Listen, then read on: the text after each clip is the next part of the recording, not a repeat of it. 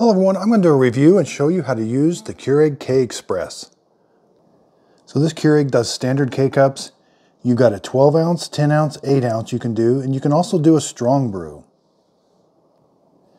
It's got a power button, it's got an add water light, and a descale light. I like this that it's got a really small footprint. It's got a really nice removable water reservoir on the back. Front to back, it's only about 12 inches. Left to right's about four and a half. And with the lid open, it's right at about 17 and a half inches. So it's got their standard single needle in the top and the single needle on the bottom with this really nice handle. So let's brew a K-Cup. You simply just set the K-Cup in there. When you close the handle, it's going to pierce the top and the bottom.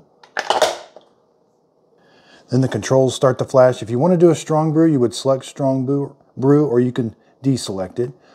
Let's do a strong brew. I like to brew my coffees on eight ounces. Once you press the eight ounce button, it starts to brew. It's a really fast coffee maker and very quiet.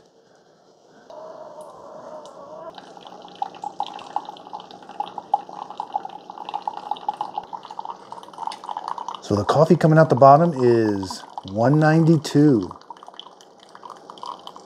That's a really hot cup of coffee. So in less than a minute, you got a really hot cup of coffee. So the coffee tastes really good out of here. It'll, like I said, it'll brew any standard K-Cup. It doesn't have to be made by Keurig, but it'll brew any standard K-Cup. Cleanup is very simple. You just lift the lid. Be careful. These can be hot. This is a great starter Keurig. If you've never had a Keurig before, this would make a great machine. Thanks everybody for watching.